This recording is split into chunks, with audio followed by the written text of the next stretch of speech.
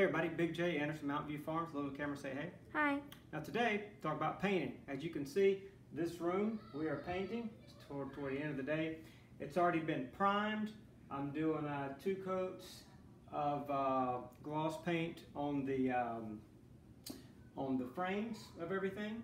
So, but uh, what I want to talk about today is some initial stuff. How to properly load the paintbrush and how to actually hold the paintbrush. Seems simple, but most people really don't know that much about how to paint and paint well. I did work with the professional painters uh, a number of years ago, learned a lot from them, and um, so hopefully I can pass some of those tips on to you. Some I've kind of developed and honed it on myself over time. Now the first thing is, uh, this paint can, as you can see, uh, just I call this my work pot.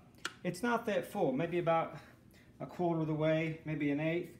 Uh, you don't want to have it too full. You don't want to load the paintbrush where it's all full of bristle.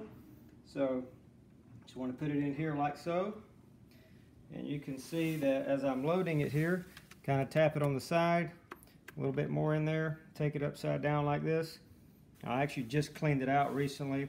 Sometimes when it gets too much goo in there, you have to kind of stop, uh, clean out your brush and start over.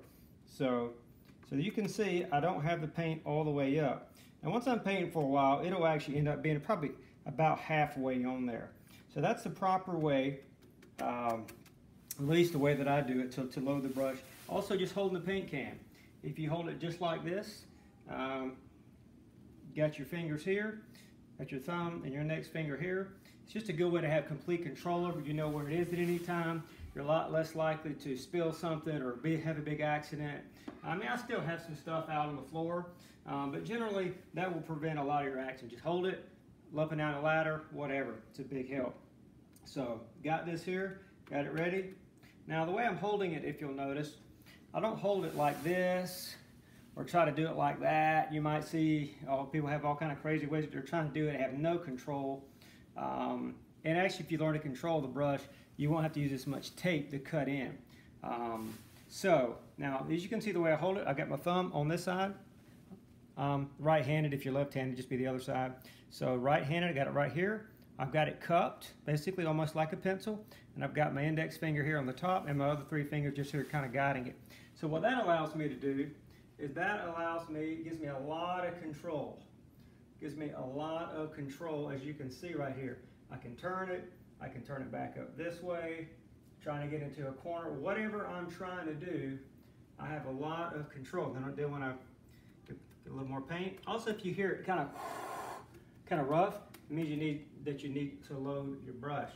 So you don't ever want too much paint, but you can see how I have a lot of control here. A lot of control. I can do it this way, that way. Still have to watch what you're doing. Don't want to get all over everything. So that's pretty much how we do that, how, how we hold the paint can, load the brush, and then also how, how to hold it to get a lot of good control over it. Um, now, I did kind of a light cut in with, with some of the gloss. I didn't want to get too much on my wall because uh, I will be actually getting a good cut in, uh, nice smooth cut in when I put my paint on there. Right now, it's just uh, a couple of coats of primer.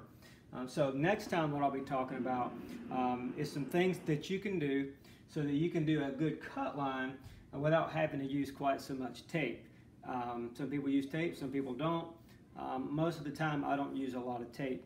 And so I'm going to show you how to do that um, and hopefully do it well. So it does take a bit of practice, but practice a bit and you could definitely learn how. So that's what we get into next time is how to make a good cut line free-handed. Now, AndersonMountainViewFarms.com.